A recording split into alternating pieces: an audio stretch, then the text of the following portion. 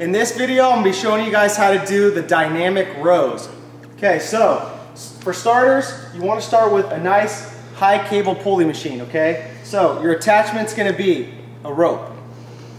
They're called dynamic rows, not ropes, okay? So put this on there. Now you're gonna get in this position where you're sitting down, right? Sometimes at your gyms you'll have something that you can kind of like keep your feet in to keep you planted.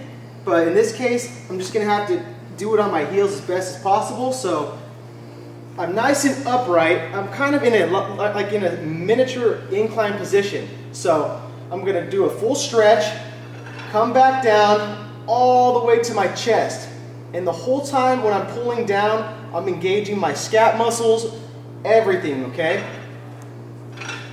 Squeeze, back up, squeeze. Squeeze those lats, squeeze those shoulder blades, everything. Okay, that was the dynamic rows.